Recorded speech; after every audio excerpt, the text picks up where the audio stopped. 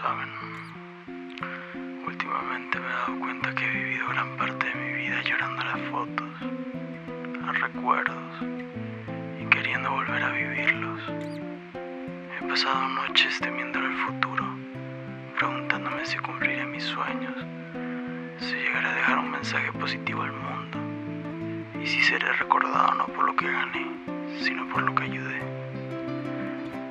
He estado viviendo pasado y el futuro y me he olvidado de vivir el presente. Me he perdido de tantos hermosos paisajes por estar cegado por los que vi y por los que veré. Me estoy dando